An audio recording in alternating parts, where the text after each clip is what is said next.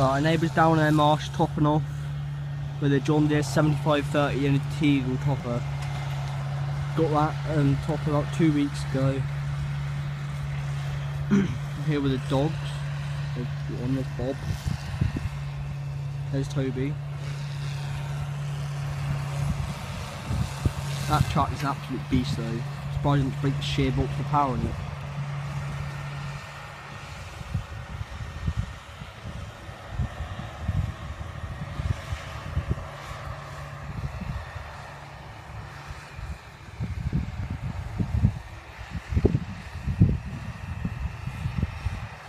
Sprayed those rushes off about three weeks ago. And he's topped them off, hopefully it'll kill them off now. sprayed Aftermarsh off at the same time. So we've got to top that in next weekend. Or this weekend or next weekend.